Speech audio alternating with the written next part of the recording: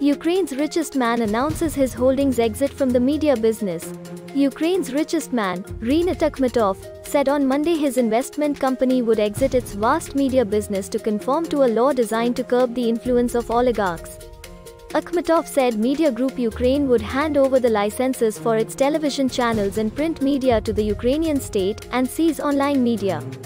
Ukraine last year passed a law to order oligarchs to register and stay out of politics and media. President Volodymyr Zelensky has hailed the legislation as a historic chance to reform Ukraine. Thanks for watching. Kindly subscribe for quick breaking news.